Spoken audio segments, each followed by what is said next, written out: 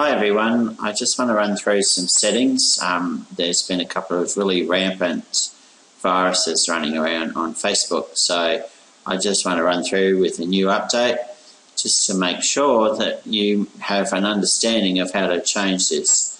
Now I'm just going to go into the settings in the new format, so let's just go into the account settings. It'll come up in a minute.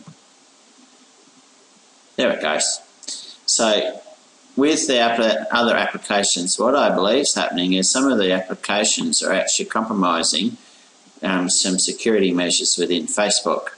So what I want to do and what I want to show you is actually how to dismiss some of the applications in here and, and so we can actually remove them and it's quite simple. You can either edit them so you can edit which applications or you can remove them. So that's a matter of just clicking the X on the right hand side.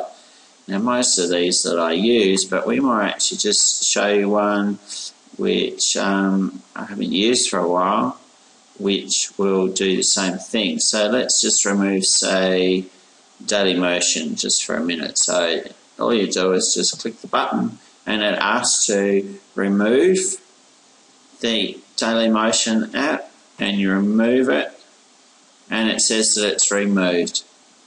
It's that simple. So just remember to go back through.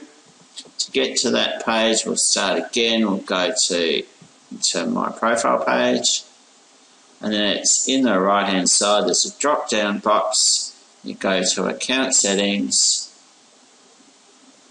then to either to the apps, and then just click on which one. And the one that I found that was doing it was actually Skype.